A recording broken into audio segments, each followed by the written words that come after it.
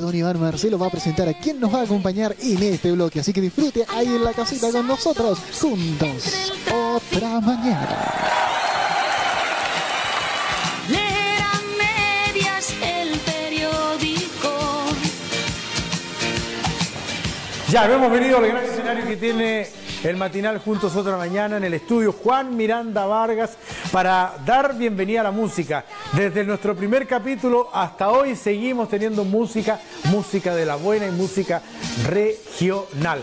Hoy nos acompaña una voz maravillosa, una mujer que no es magallánica. Ya vamos a hablar de Quilpué, que lo está pasando un poco complicado porque ella es oriunda de Quilpué, donde hay muchos magallánicos y que nos ven a través de nuestro fanpage. Carol Tapia, un gusto, bienvenida nuevamente al matinal. Muy bien, ¿y tú? Gracias por la invitación. Bueno, por favor, gracias a ti. Primero quiero partir con eso. ¿Cómo está tu gente en Quilpué, que lo está pasando complicado por el incendio?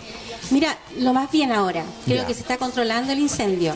Pero sí hay muchos que han compartido por internet su experiencia muy traumática. Es complicado. Sí, muy complicado. Así que un apoyo grande para Quilpué, para mi zona, un beso grande. Oye, Carol, mucho. ¿cómo ha sido estos meses de pandemia, casi un año, para tu pega como cantante? Mira, igual se ha reinventado uno. Eh, hemos cantado igual por internet, todo por cámara, eh, poniendo todo un escenario en la casa. Así que bien, feliz. bueno. Igual en casa uno hace muchas cosas y se inventa. Oye, ¿y eso te ha permitido escribir también? Claro que sí. Mira, ahora yo justamente te estaba diciendo recién que traje un tema. Es un tema que con un amigo eh, de Quilpué, que es músico, Quique Quiroz lo quiero nombrar. eh, de- a lo mejor me está, me está viendo. Eh, hemos creado esta canción juntos. Qué bueno. Oye, eh, ¿proyecciones para este 2021? ¿Algo en vista o todavía Sí, nada? sí, sí, eh, estoy haciendo temas míos. Qué es muy posible que a lo mejor los presenten en algún festival para el norte. Lógico. Vamos viendo si represento a Magallanes, porque yo ya soy una magallánica. Llevo 10 años ya en esta zona y la amo. Qué bueno. ¿Cómo se llama el tema, el tuyo, el que escribiste?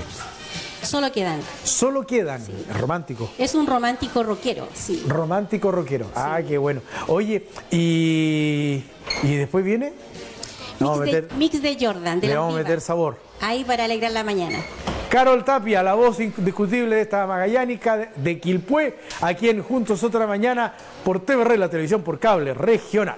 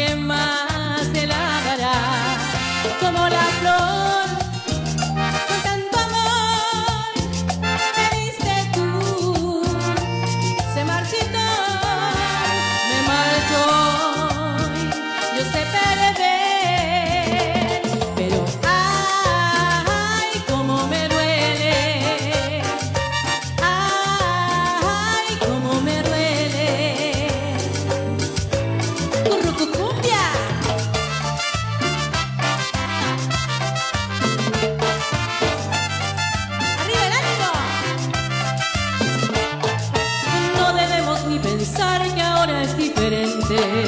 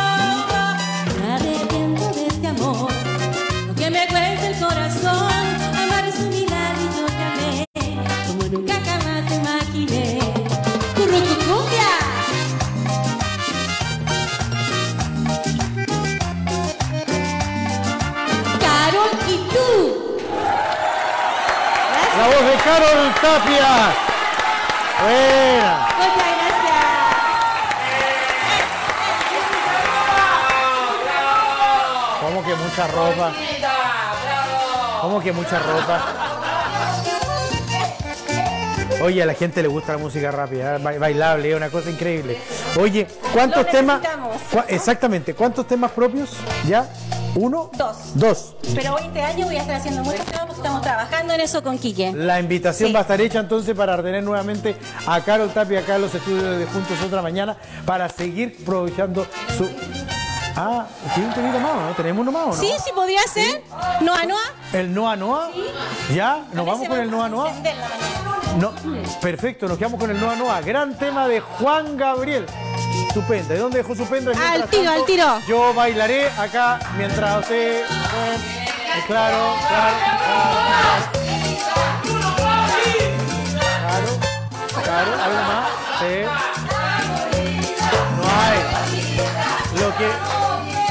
E- con estos pantalones lo que menos hay es colita.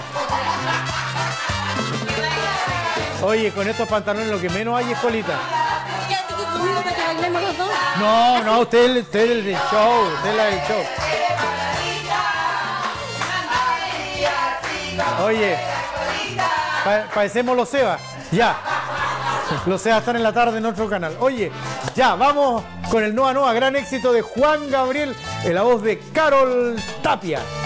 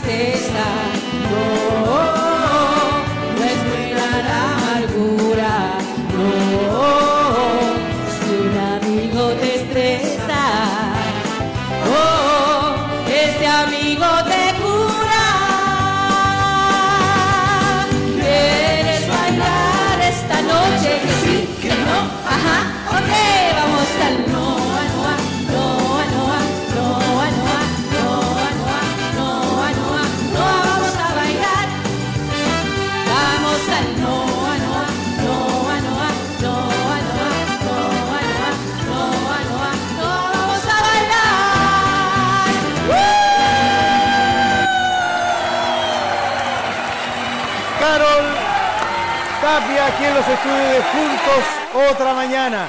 Mi estimada Carol, agradecido porque nos haya acompañado en el día de hoy. Muchas gracias a Tu ustedes. casa cuando estimes conveniente, tu escenario cuando lo quieras Aquí utilizar, nosotros siempre te daremos la bienvenida. Y muchas gracias por la invitación y el apoyo. Qué bueno. Nosotros no nos vamos a la pausa, nos vamos a el otro set. Ahí está don Sergio y doña Macarena que nos va a presentar su nota del día de hoy. Adelante, don Sergio. Muy bien.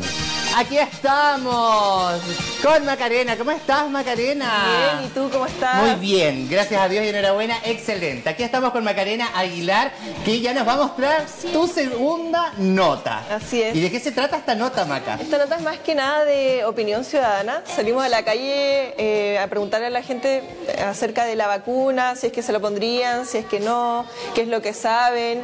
Y para hacer un poco como hacer un pequeño análisis de la ciudad, eh, cómo están las percepciones acerca de ese tema, eh, ya que la vacuna ya se está empezando a implementar en Chile. Entonces eh, queríamos saber más que nada cómo, cómo lo percibe la gente.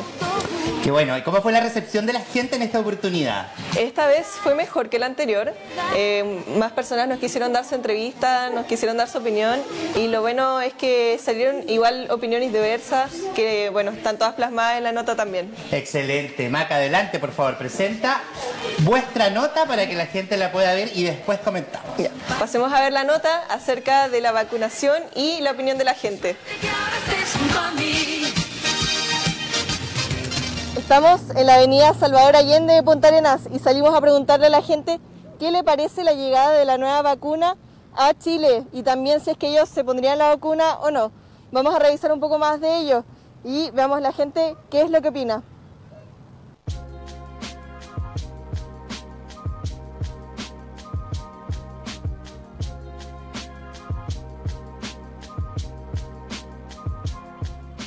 La vacuna contra el COVID-19 ya es un hecho y su implementación en Chile y la región ya ha comenzado.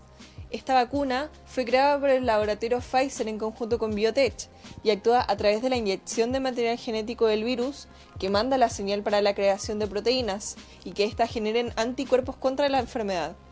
El personal médico ha sido la prioridad para recibir esta inmunidad. Luego de ellos, adultos mayores comenzarán a recibir dicha inyección. Según el presidente Piñera, se espera que para finales del primer semestre de este año se logre vacunar a 15 millones de personas.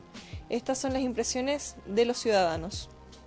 Mire, yo escuché en, la- en las noticias que, que la vacuna ahora estos días ya está acá y que, que la tercera edad lo van a vacunar. Yo soy de la tercera edad.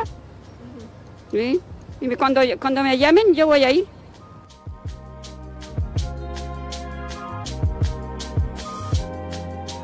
Muy bien. Sí, está muy bien eso, porque si no va a seguir la, la pandemia rondando. Lo que pasa es que ahora tiene que avanzar, como dicen, la primera línea, que es los médicos, las enfermeras, y de ahí después vendremos nosotros, la tercera edad. Si uno se la coloca, no va a correr el riesgo de contagiarse.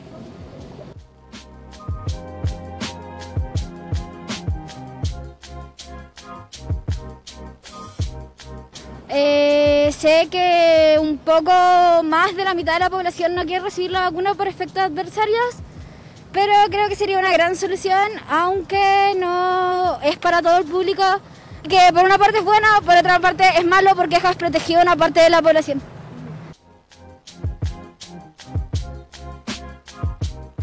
que igual da desconfianza. ¿Por qué? Porque según la patología de las personas, igual le puede haber alguna contraindicación, no sé. Tendría que pensarlo, no sé. Yo creo que hay que ver el momento. y que las personas participaran porque para que salven su vida, para que ayuden un poco. Porque de hecho no es la mejoría, pero de algo nos va a ayudar, ¿no? En cuanto a las contraindicaciones para administrar la vacuna, se encuentran todas las personas con antecedentes de una reacción alérgica hacia cualquier componente de la vacuna. Y por otro lado, en las reacciones adversas o efectos secundarios se encuentra más que nada dolor en el lugar de inyección, fatiga y dolor de cabeza. Esto en más o menos un 23 al 30% de los participantes de la prueba. Y también pueden haber otros efectos como el dolor muscular, fiebre, escalofríos y dolor articular. Está la opción también de, de seguir autocuidándote y, que, y, evitar que te contagies. Pero eh, si hablamos de la medicina, eh, lo que tenemos a mano en este momento es la vacuna. y lamentablemente no llegaron las dosis necesarias, yo creo. Va muy lento el proceso, demasiado lento.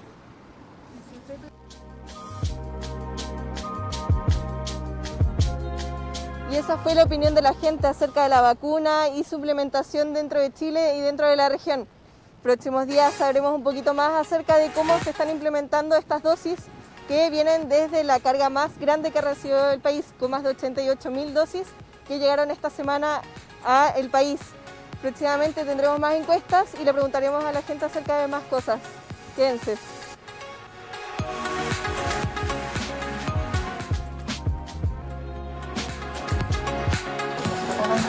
Ahí está la nota, ¿eh? Excelente, ¿eh? Linda nota. ¿Se va a vacunar usted? Yo, sí, por supuesto. ¿Tú te vas a vacunar? Sí, pues cuando se pueda, obvio que sí. Yo igual me voy a vacunar.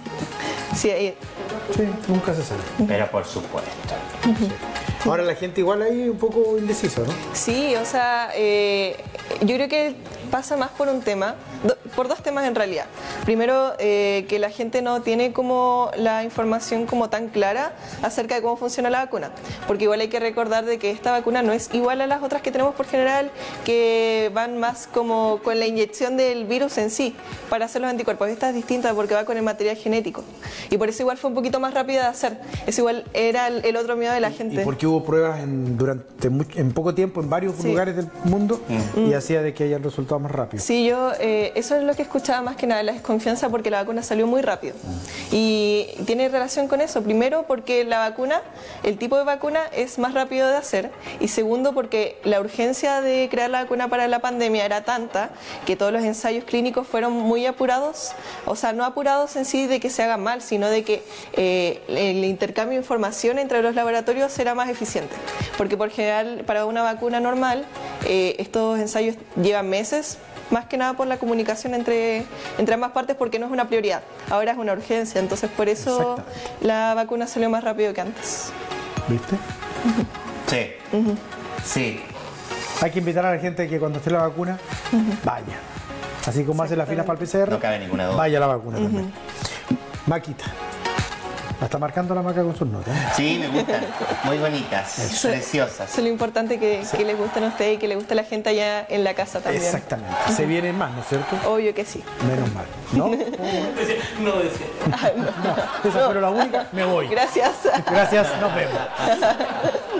Ya, oye, vamos a la pausa. Vamos a la pausa. Vamos a la pausa. Después tendremos posibilidad nosotros de poder No, no sé si podamos hablar. Eso, ¿no es cierto? No, la interferencia sonora va a ser grande. Con las invitadas, no sé si podamos. Las hablar. tres invitadas. Sí, nada más y nada menos. Ah. La Leo, la Marcela y. Y la María Elena. la versión de Lula Remote en femenino. Qué susto eso, qué susto. ¿Vamos a la pausa? Vamos a una pausa. ¿Usted se queda o se va a la casa? No sé, no podría quedar Muy Sí, bien. muy bien. Tengo que aprovechar, como fue que nos dijo ese día. Tengo que aprovechar. Muy bien. Ya, vamos a la pausa y volvemos. Qué tremendo. Ha sido un bloque fantástico, un bloque con todo, ¿cierto? Hemos tenido música, las notas, junto a la periodista que nos acompaña a diario aquí en Juntos Otra Mañana. ¿Y sabe qué? Ya lo dijo Don Iván, pues ya lo dijo Don Iván y yo estoy al borde del llanto profundo en este momento. ¿Sabe por qué? Es que esto va a reventar el, audio más. Se viene Marcelita Jara, María Elena. Y por supuesto, Leito, que va a sonar espectacular eso que tenemos ahí de calidad los audios, micrófono de calidad. Así que ya se viene, ya se viene, 11 con 12 minutos la pausa. Y ya estamos de regreso observando nuestro cerro andino. Tan conocido porque están todas las antenas y transmisoras de todos los medios de comunicación. Tremendo, ¿ah? Tremendo. Vamos a la pausa, ya estamos de regreso. Somos juntos. Otra mañanita, no se vayan.